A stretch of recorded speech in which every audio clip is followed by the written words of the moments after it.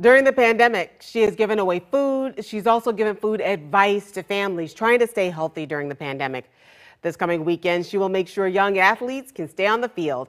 So let's bring in Chef Nesee from That's So Good Pop Up Buffet. Thank you so much for joining us. Good morning, Kim. Good morning.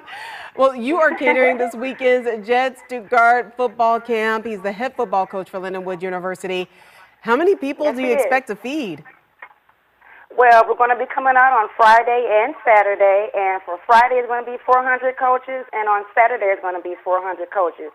So a total of 800 coaches will be fed in a nice, efficient way, COVID-style, individually packaged meals, moving grooves, take and go, and have a wonderful weekend. Everybody's going to be coming out and enjoying the weather and doing some recruiting, so it's going to be a nice, good time for people to come out and enjoy themselves and get some of that good, fresh weather that we've been waiting for.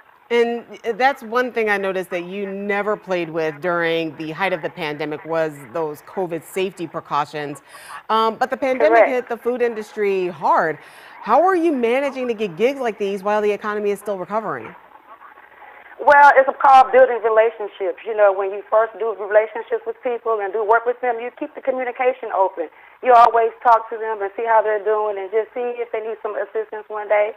And Jed has been helping me along my whole business journey. He has helped assist with all my giveaways and Thanksgiving buffet giveaways, and just they're really close to heart. So they reached out to me over the weekend of last week and said, "Hey, Nesee, we got an event. We'd like to be a part of it." I said, "Yes, I would love to do it."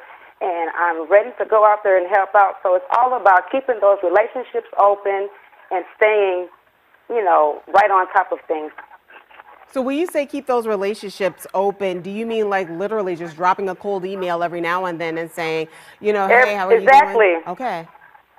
So if they say, hey, how are you doing? Or go give them an incentive. Stop by, give them a fruit basket, or just say hello, or give them a gift card. Just let them know you remember them and what they did for you in the past and how it has helped your life, and they will remember that. Because when people have bad days, they always remember good compliments and remember good food. So I'm just grateful to be a part of Lindenwood. They're going to have some coaches out there from Mizzou, uh, University of Florida, University of Indiana, and of course Lindenwood University. So it's going to be a fun, fun, fun time.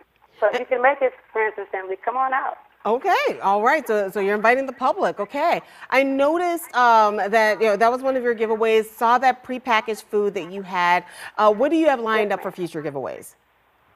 So for future giveaways, each month I do a giveaway, whether it's food, uh, money, or assistance with helping you just getting to the next day. Uh, for June, I'm going to be doing a Juneteenth giveaway. Last month I did a Memorial Day giveaway for the Veterans Home, and I also do cashback giveaways as well. So it's like if you visit my page, I'm always doing something, and I'm going to be doing podcasts monthly as well, and you'll also get the knowledge of what the giveaway will be as well when you listen to the podcast. So all those links will be attached to this segment, and also they can visit me at Tasty Selection on Facebook, and you'll always know where the giveaway will be, and it's always for free. All my giveaways are for free, so please come out when I give the, the stuff away. It's always a phenomenal turnout.